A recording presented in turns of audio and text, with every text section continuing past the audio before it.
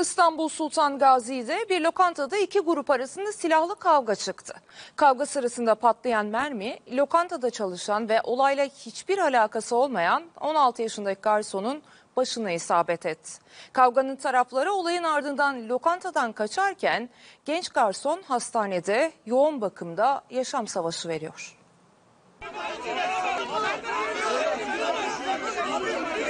Taraflar birbirine girdi, mekandan silah sesi yükseldi. O kurşun bir garsonun başına isabet etti. dışarıda olan bir olayın buraya taşınması. Şu anda 16 yaşında bir genç bir çocuk yoğun bakımda yatıyor. Olay perşembe akşamı İstanbul Sultan Gazi'deki bir lokantanın terasında yaşandı. Dört kişilik bir grup yemek yiyordu. Onlarla kavgalı olan bir kişi silahla içeri girip yanlarına çıktı. Biri de onu durdurmaya çalıştı.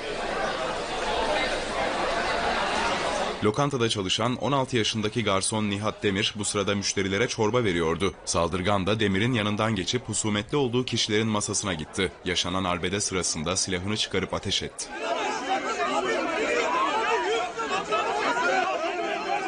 Aslında o kargaşa lokantanın terasında yaşanmıştı ama o silahtan çıkan kurşun iki camı da delerek içeriye girdi. O kurşun kavga sırasında saklanmaya çalışan genç garsonun başına isabet etti.